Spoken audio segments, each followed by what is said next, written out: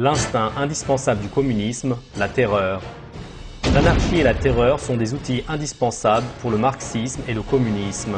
Marx et Engels, les fondateurs du communisme, ont défendu personnellement la violence et la terreur. La terreur est devenue un élément inséparable de l'idéologie communiste avec Lénine, qui a mis la théorie de Marx en pratique. Ces paroles de Lénine le précisent très clairement. En principe, nous n'avons jamais rejeté la terreur et nous ne pouvons pas la rejeter. Quand les gens nous accusent de dureté, nous demandons comment ils peuvent oublier les rudiments du marxisme.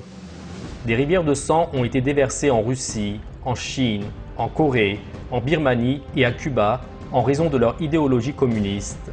Des millions de personnes ont perdu la vie et beaucoup d'autres ont été paralysées. Rien qu'au XXe siècle, 120 millions de personnes comprenant des hommes, des femmes, des enfants, des jeunes et même des bébés et des jeunes enfants ont perdu la vie à cause de cette idéologie froide, dure et sauvage connue sous le nom du communisme. Et ce ne sont que les chiffres officiels. Les chiffres réels de ceux qui sont morts à cause de l'oppression communiste sont beaucoup plus élevés. Même ceux qui ont survécu vivaient dans un état constant de peur parce que l'idéologie communiste considérait le terrorisme comme un outil indispensable et elle a obligé ses adhérents à le commettre. Par exemple, c'est de cette façon que Lénine a appris à ses compagnons communistes la nécessité de commettre des actes de terreur contre l'armée et la police. Lancer des attaques dans des circonstances favorables, ce n'est pas seulement le droit de tous les révolutionnaires, mais aussi leur simple devoir. Le meurtre des espions, des policiers, des gendarmes, l'explosion des postes de police, la libération des prisonniers, la confiscation des fonds publics alloués aux besoins du soulèvement, chaque détachement de l'armée révolutionnaire doit être prêt à commencer ses opérations à tout moment. Les propagandistes doivent procurer à chaque groupe des recettes brèves et simples pour fabriquer des bombes. Les escouades doivent commencer tout de suite la formation militaire par le lancement immédiat des opérations. Certains peuvent immédiatement tuer un espion ou faire exploser un poste de police. D'autres peuvent cambrioler une banque pour confisquer des fonds alloués au soulèvement.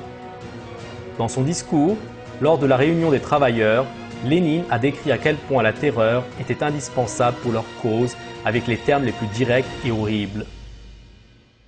Nous ne pouvons pas nous attendre à atteindre quelque chose sans le recours du terrorisme. Les spéculateurs doivent être fusillés sur place. Lénine lui-même a écrit les lignes suivantes. Nous ne sommes pas du tout opposés aux exécutions politiques. Les actes terroristes individuels en connexion directe et immédiate avec le mouvement de masse peuvent avoir une valeur. Comme nous l'avons vu, le communisme commande la mort, la destruction, l'infliction de la peur, la terreur, le fait d'attaquer et de tuer les troupes et les officiers de police de son propre pays sans même sourciller. Dans ce système, les émotions humaines telles que la compassion, la pitié et la conscience sont anéanties. Il attend des gens qu'ils se comportent comme des animaux, de la même manière qu'un animal sauvage qui se bat à mort avec les membres de sa propre espèce pour la nourriture ou pour le territoire. Le communisme est basé sur le darwinisme. Et le darwinisme enseigne aux gens qu'ils sont tout simplement une sorte d'animal et qu'ils doivent lutter pour survivre comme les animaux. Ce désir de verser du sang est très clair quand on examine les publications communistes. Dans le journal bolchevique Krasnaya Gazeta, Lénine préconise la noyade de toute la Russie dans le sang. Nous transformerons nos cœurs en acier que nous tempérerons dans le feu de la souffrance et dans le sang des combattants pour la liberté. Nous rendrons nos cœurs cruels, durs et rigides pour qu'aucune miséricorde ne les saisisse et que nos cœurs ne tremblent pas à la vue d'une mer de sang de l'ennemi. Sans compassion, sans clémence, nous tuerons nos ennemis par vingtaines, par centaines, qu'ils soient des milliers, qu'ils se noient dans leur sang, pour le sang de Lénine et Ouritsky, Zinoviev et Volodarsky, qu'il y ait des inondations du sang de la bourgeoisie, plus de sang autant que possible. Les écrits et les déclarations de presque tous les dirigeants communistes, pas seulement de Lénine, rendent bien clair que la terreur est un élément indissociable de l'idéologie communiste. Par exemple, Félix Dzerzhinsky, un dirigeant communiste de son époque et le premier chef de la police secrétaire notoire, la Tchéka, a déclaré dans une interview Nous défendons la terreur organisée. Elle devrait être franchement admise. La terreur est une nécessité absolue pendant les périodes de révolution.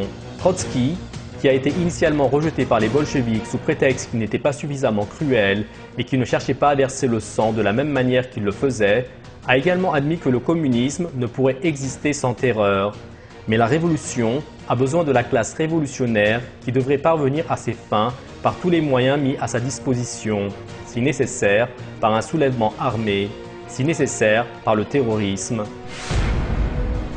Mao Tse-tung, le dictateur notoire personnellement responsable de la mort de plus de 60 millions de personnes, décrit comment le communisme ne peut pas être adopté en l'absence de violence. Une révolution est une insurrection, un acte de violence par lequel une classe renverse une autre.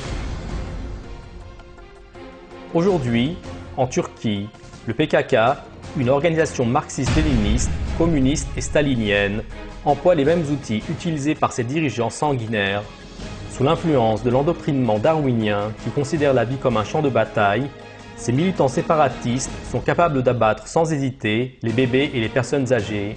Ils martyrisent nos troupes et nos policiers et ils ont recours à toutes les formes de terrorisme. Puisqu'ils ne considèrent pas eux-mêmes et les autres comme des entités créées par Dieu ayant une âme, un esprit et une conscience, ils sont capables de traiter les autres de la même manière que les animaux traitent les autres animaux. Ce fléau peut prendre fin seulement grâce à l'élimination de la fondation de cette violence, en d'autres termes, le darwinisme. Une vaste diffusion de l'information scientifique anticommuniste et antidarwiniste est indispensable pour lutter contre un mouvement séparatiste communiste qui recueille l'adhésion par la propagande communiste.